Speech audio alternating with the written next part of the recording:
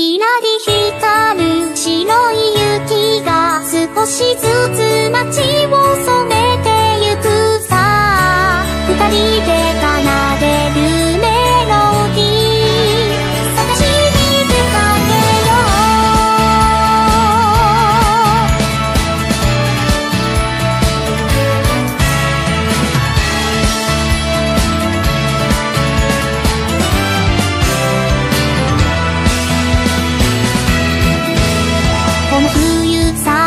この雪が僕らの街に舞い降りた二人が歩いた道の足跡は消えてしまう冷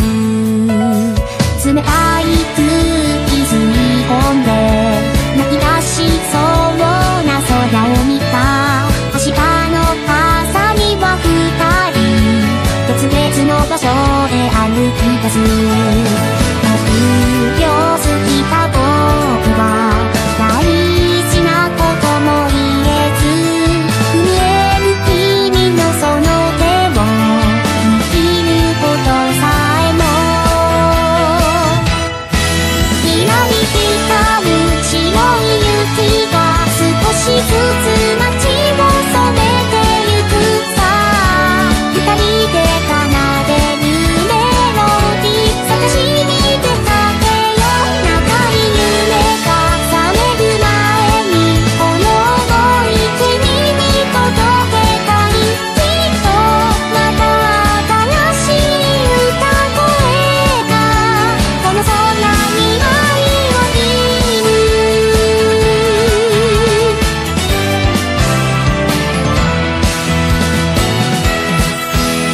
この冬最高の風が僕らの街を吹き抜けた枯れ木に宿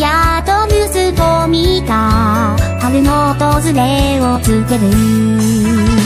届けたか